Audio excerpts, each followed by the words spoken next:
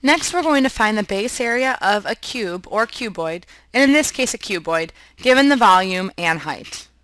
The volume of this cuboid is 846 cubic feet. Its height is 9 feet.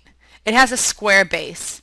Give your answer to the nearest tenth, find the length of the square base.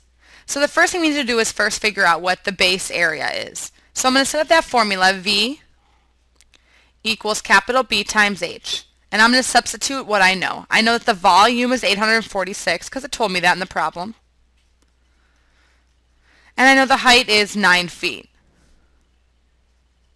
If I divide both sides by 9, I get that the base area is 94 square feet.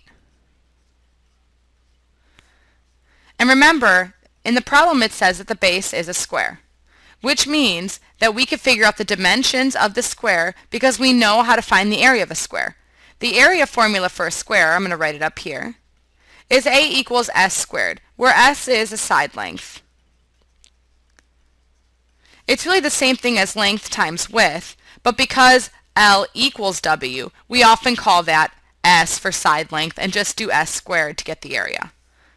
So if we're trying to find the dimensions of the square, we would have 94 equals s squared. And if I want to solve this, I'm looking for a value for s that when multiplied by itself gives us 94. Since 94 is not a perfect square, I know that my answer is going to have a decimal. So if I use my calculator and I do s equals the square root of 94, I get an answer approximately 9.695.